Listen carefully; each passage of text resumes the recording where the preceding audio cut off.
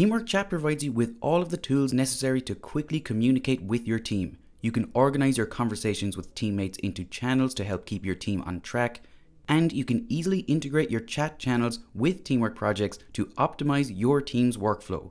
We can use Teamwork Chat in our web browser, or alternatively, we can also use the Teamwork Chat desktop client.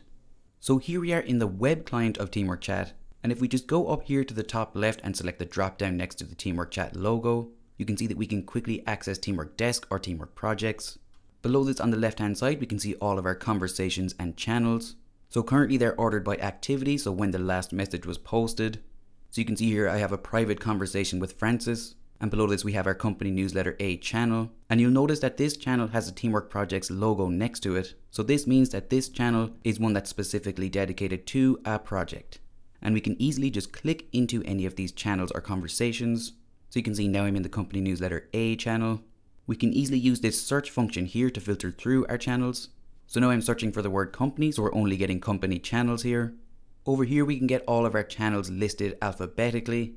And then we can also search through all of our users here. So here we can see all of the users for our Teamwork Video company. However, if we minimize this, we can select any external companies also. So let's say if I click on Gigawatts, now we can see all of the users in the Gigawatts company.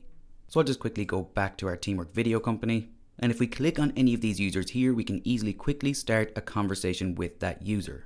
If we wanted to create a channel or a conversation with a number of users, we can easily do that by selecting the drop down here, where you can see that we can create conversations, we can create channels, and we can browse channels. So if we want to create a conversation, we can just type our message in here, and any users that we want in our conversation, we just need to select add that username. So if we want to select all users, we can just select add all here, or we can put in our specific users. So let's say that I want Adrian and Vic. And we can also write whatever message we want here. You can see here over on the left hand side, we can attach any files if we want to. And then over here, we can send our message. And that's how easy it is to start a conversation in Teamwork Chat. Now let's go back to our drop down here and look at creating a new channel. So in the create channel window here, we need to give our channel a title we can also add a description for our channel if we want to. We can choose to link this channel to an existing project in Teamwork Projects. We can select which users we want to have access to this channel. So let's say Adrian, Alan, and Alder. And we can easily remove any of these users by selecting the X icon next to their name here. If we want to make this channel a default channel, we can easily do that here. So a default channel is one that automatically adds new users to the channel. And we can also update our channel visibility. So this can be private or public. So I'll just make this channel public so anyone can join the channel if they want to. Then once we're happy, we just select create. And there we go. Now our new channel has been added. As well as being able to create channels, we can also browse through our channels. So again, in the drop down here, just select browse channels. So here we can see all the channels that we're a part of, as well as being able to see any public channels that we're not currently in. So we can see the channels here, we can search through our channels. We're unable to leave any channels that we've created or any project channels. However, any open public channels allow you to easily join or leave as you like. So let's say that I want to join the design channel here, and now I'm part of that channel. We can easily go to any of these channels here by just selecting the channel. So now we're in the design channel and you can see over on the right hand side, we have a full list of all of the members in that channel. If we're an administrator, we can easily remove anyone from the channel by selecting the X icon here next to their name. And over on the top right, we can access our channel settings. So we can choose to add more users to the channel, we can edit our channel, and we can customize our notification settings for the channel.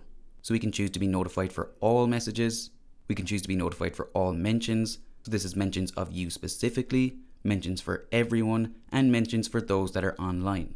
Alternatively, we can choose to only have our specific mentions, and we can disable notifications altogether. Again, here we can quickly leave a channel if we want to, and if we're an administrator, we can also delete a channel.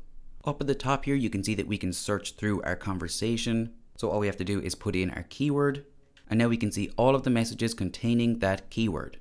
So here we can choose to sort by date or by relevance. Over to the left, you can see that we can filter our search here, so we can choose to see only messages with attachments and we can apply or reset these filters here. And down here at the bottom you can search for just this channel or we can choose to search through all of our conversations. And then once we've found the message that we're looking for, we can just select that message and be taken to that channel. As well as being able to customize your channel settings, you can also customize your settings at a site level down here at the bottom left. So in the profile tab here, we can update our details. So we can update our avatar here.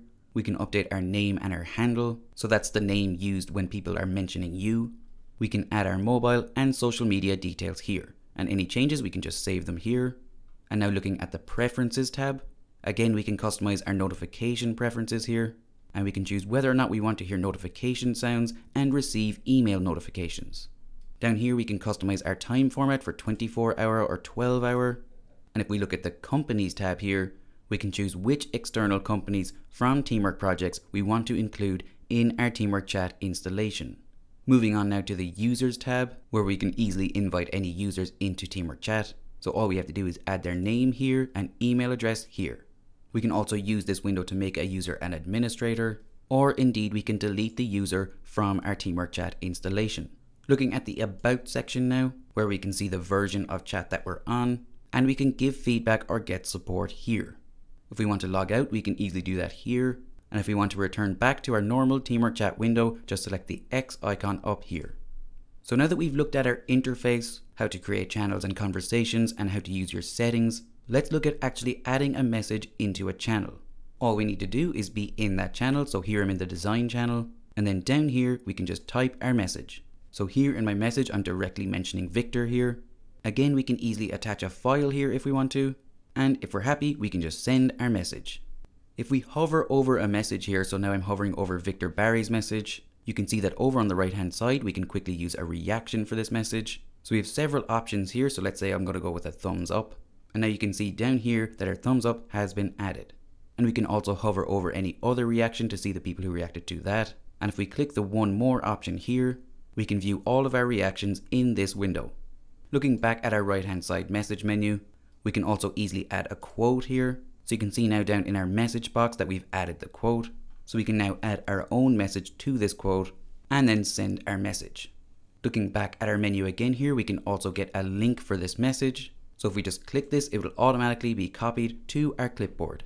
If we select this options drop down here on the right hand side, you can see that we can create a task from this message, or indeed we can delete this message entirely if we're an administrator.